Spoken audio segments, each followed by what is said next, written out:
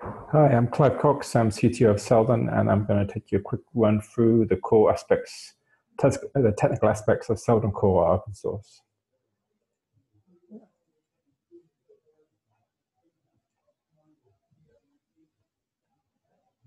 So Seldon Core is a platform for machine learning deployment.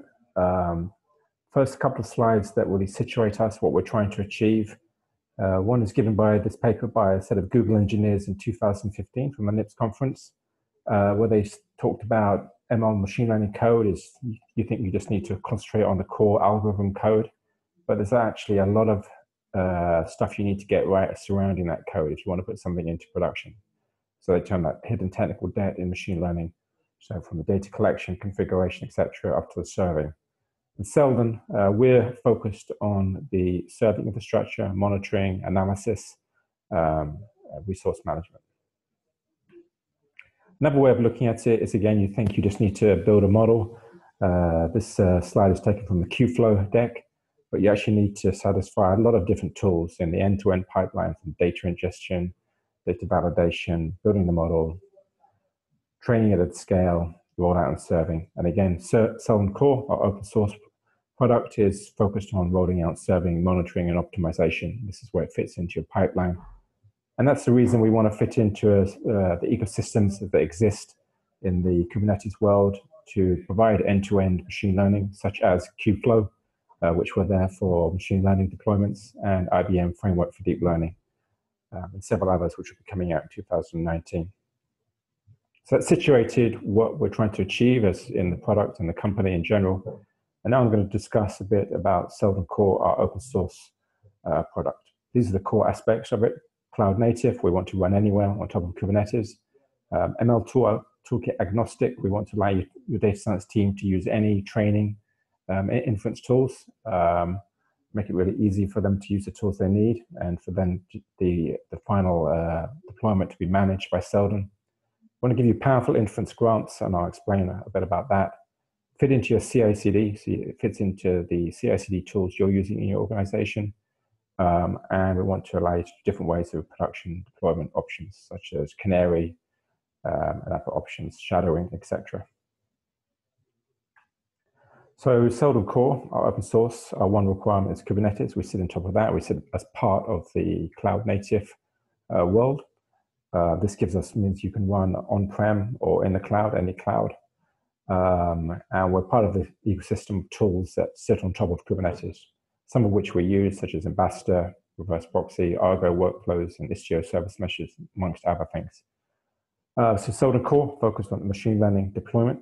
And as this, we, as a data science team, we work on components that will help um, run alongside your deployment uh, to help you get the appropriate metrics, and governance, and compliance for your running machine learning models, such as the ones mentioned there, so multi-arm bandits for optimization, outlier detection, black box model explanation, bias detection, concept drift. Some of these already, you'll find already on the open source, some of are in the roadmap for 2019.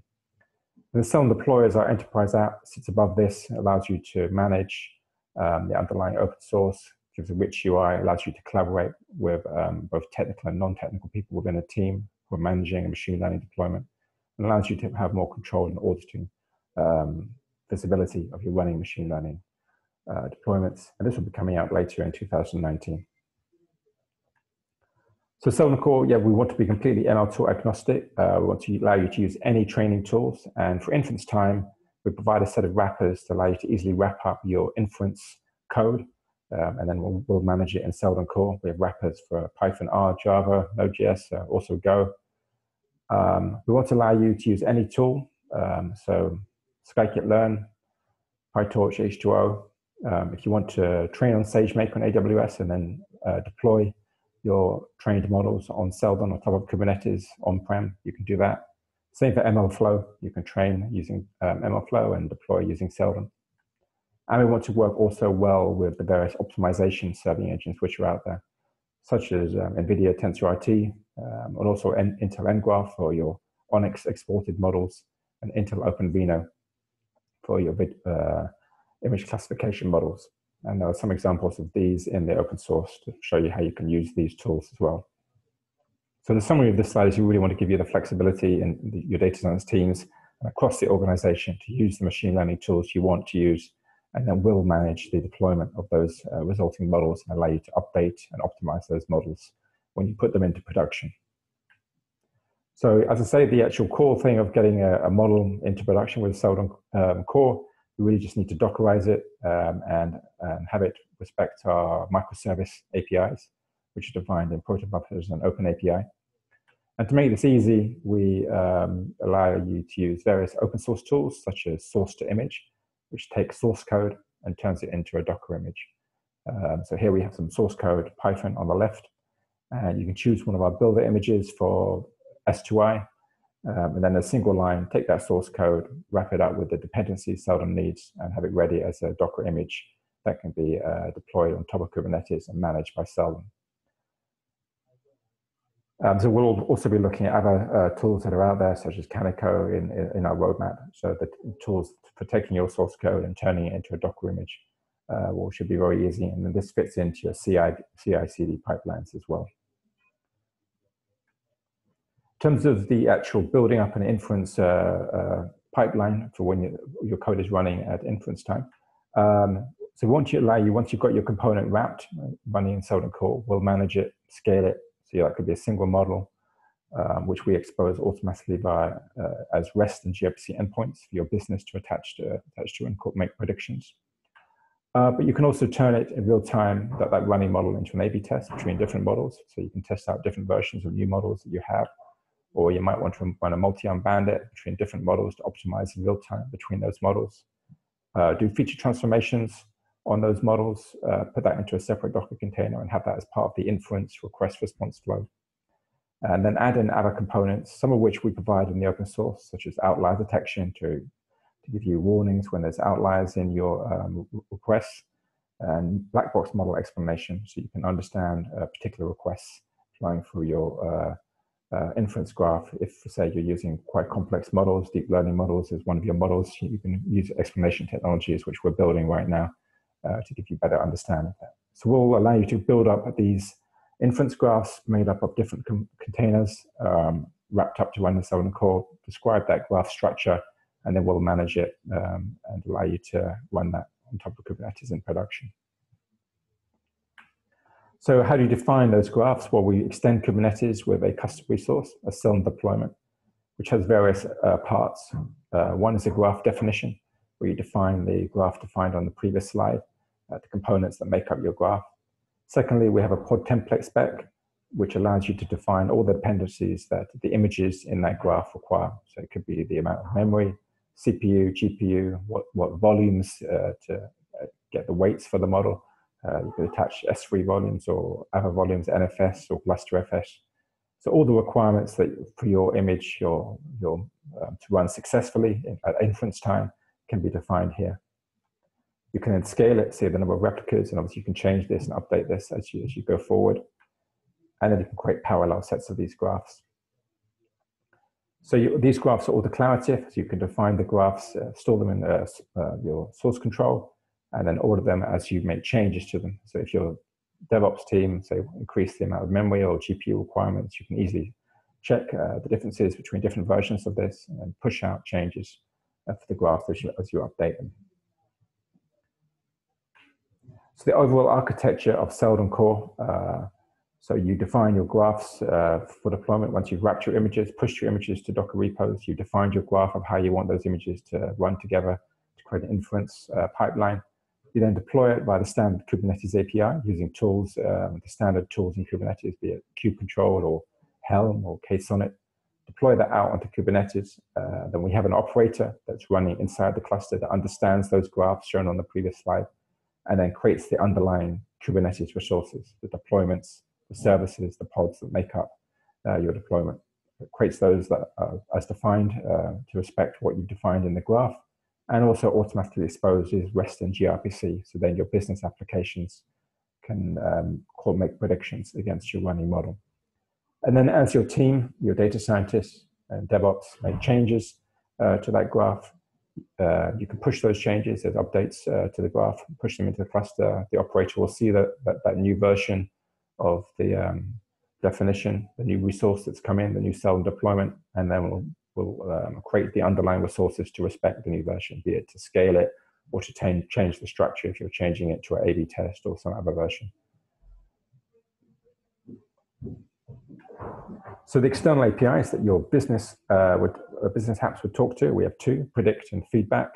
So predict takes a wide range of payloads from simple tensors to uh, TensorFlow's tensors for more uh, uh, strictly defined uh, structure where you can define whether your payloads are made up of ints or bytes or booleans or whatever. And also takes um, ND arrays to allow you to send in multi-type data such as strings and floats, which is good for natural language processing. And if that doesn't fit, you can also send in custom strings or binaries um, as, as the payload uh, that your model obviously will know how to handle when it, once it receives it. And you can change these payloads as you go through the components in your inference graphs. You might, it might come in as binary, say a compressed JPEG, uh, maybe get turned into a TensorFlow tensor at some point, and then eventually come out in the response and get turned into a custom string finally. So that's the predict endpoint. That's what uh, your AP, your business apps would use the APIs, be it REST or gRPC, to talk to your to your model to get predictions. You can also there's also a feedback endpoint, uh, which is used to send in whether the model is getting things correct, so that it can use techniques such as reinforcement learning and more simple versions such as multi-arm bandits uh, techniques to actually um, improve things in real time. For that, you can send in a previous request you sent into the predict endpoint, the response you got back, and then a particular reward. So you might send in a reward of one if, you, if the model got that correct, or zero if it didn't. Uh, but most cases, you'd probably just be using it to predict. Um, um, obviously, we'd like to hear people who are more interested in reinforcement learning cases, as that's definitely part of our roadmap uh, to allow your models to uh, update in real time. So quick few uh, uh, slides on other aspects of Seldon Core, part of the roadmap and some of the things we're doing right now. Uh, we definitely want to fit into your CI/CD uh, pipelines in your organization. So for that, we really believe in the idea of uh, GitOps, which is quite prevalent in the cloud native community. Um, so that really takes the idea that everything should be in source control and um, operations on your deployment, your CI and CD parts are fired off from commits into source control. So as your data scientist updates the, say, code repo on the left, uh, that would fire off a CI pipeline to maybe retrain the model and recreate new images for the um, inference uh, section, uh, which might update data update a Docker image repo. And then your Seldon deployment graphs would be in source control with this repo on the right. Uh, they can be updated. And using standard tools, you can push that out to a Kubernetes cluster to update in real time your actual cluster.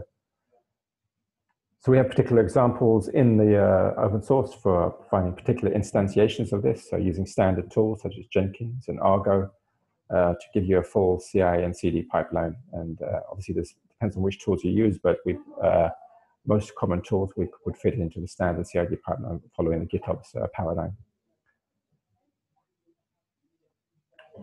Uh, so yeah, just a quick uh, few small slides. Um, so we have, we definitely cover um, want to cover various optimization engines which are out there, such as, uh, as I said, the ones at the top we already have in the open source, and you're welcome to uh, look at those. And also, we're looking at some of the other uh, toolkits out there, such as NVIDIA DALI and NVIDIA Rapids, which is part of our roadmap. So we'd like to hear a few uh, from you if you're interested in uh, using some of these uh, optimization engines in your inference steps. So as I say, yes, in terms of organization, we definitely want to add components into your inference uh, pipeline that will give you extra uh, understanding of how your machine learning is running in production. Um, so give you, so these, these are the sort of uh, components that we work on as a team. So model explanations, multi-arm bandits, outlier detection, trust scores for your models, give you confidence scores of the actual predictions returning uh, from those models, uh, concept drift, so you know when to retrain, and bias detection. So if you're interested in these again, please get in touch with us um, so we can understand where the, our roadmap uh, should be heading.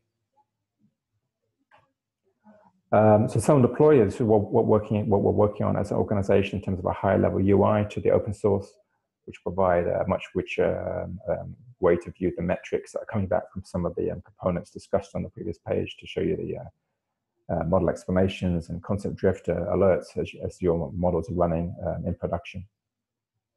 Um, and we're looking for beta uh, partners for this. So if you're interested to get uh, uh, this high level UI as part of what you're doing in terms of deploying models, please get it, please get in touch with us. So yeah, that's a quick run through the uh, technical aspects of Seldon Core. So if you have any further questions, please get in contact.